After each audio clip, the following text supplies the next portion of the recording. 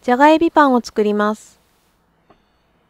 にんにく1かけ、じゃがいも 60g、玉ねぎ 30g、むきエビ 60g を耐熱皿に入れ、軽くラップをし、500ワットのレンジで3分ほど加熱します。加熱したにんにく、じゃがいも、玉ねぎ、パセリ 5g、マヨネーズ大さじ3、顆粒コンソメ小さじ1を入れ、20回ほどブンブン引っ張ります。均等になるよう途中上下に揺らします。加熱したむきエビを加え、さらに5回ほどブンブン引っ張ります。フランスパン4切れに、ブンブンした具材を乗せ、オーブントースターで3から4分ほど焼いて完成です。